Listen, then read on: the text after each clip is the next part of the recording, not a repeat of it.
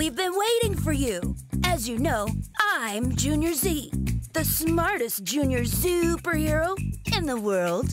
No wonder his head is so big. And I'm Miss Z to tell you the animals need your help.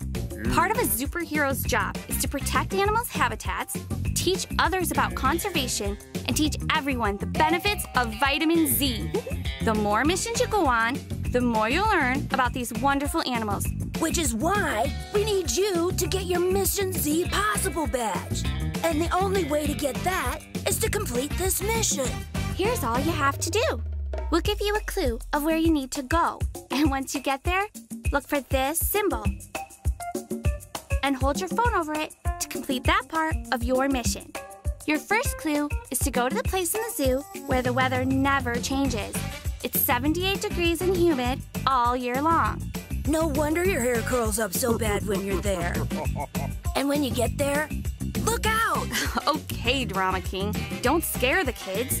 Just be sure to watch your step and your head because this is the one place where something might land on you. And you certainly don't want to step on anything. Okay, get going.